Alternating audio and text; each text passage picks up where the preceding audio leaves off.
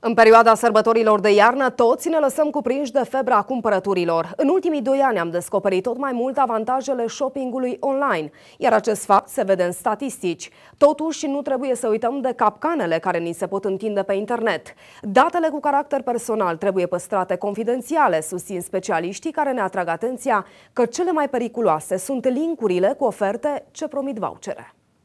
Cumpărăturile online sunt în vogă în această perioadă, așa că inevitabil apar și riscurile. Mulți clienți aleg plata cu cardul pentru că este la îndemână. Totuși, trebuie să conștientizăm cu toții că putem fi victimele unor fraude. Cumpărați online?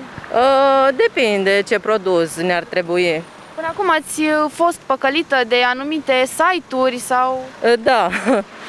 Uh, de, uh, mă refer în general despre material, de aine, Plătiți cu cardul când cumpărați online? Uh, nu neapărat cu cardul, la domiciliu. Ce părere aveți uh, despre cumpărăturile online? Nu mă interesează, nu m-a preocupat niciodată. Prefer să merg în magazin să-mi aleg ce-mi place. Credeți că oamenii ar putea fi păcăliți în cumpărăturile online? Absolut, dar câte cazuri nu sunt? Comanzi ceva, primești altceva. Ați uh, pățit până acum ceva când ați cumpărat online, gen, nu știu, să fiți fraudat online? Nu. Cum vi se par cumpărăturile online? În siguranță? Eu știu. Nu prea fac online. Prea puțin. Dar oricum, ce am făcut a fost ok. Polițiștii atrag atenția asupra pericolelor care ne pasc pe internet. Una dintre capcane o reprezintă linkurile care promit vouchere.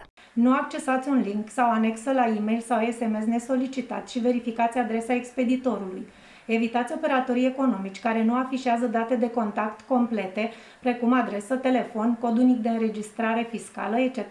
Folosiți un serviciu de curierat cu plata ramburs ce permite deschiderea coletului la primire și achitați contravaloarea după ce v-ați asigurat că ați primit exact produsul comandat. Nu comunicați nimănui pinul, datele înscrise pe card, inclusiv codul CVV sau CVV2, datele personale de identificare, precum și orice alte informații de securitate aflate pe carduri sau parole de securitate utilizate în tranzacționare. Polițiștii recomandă tuturor să se informeze din surse oficiale și să semnaleze imediat orice tentativă de fraudă.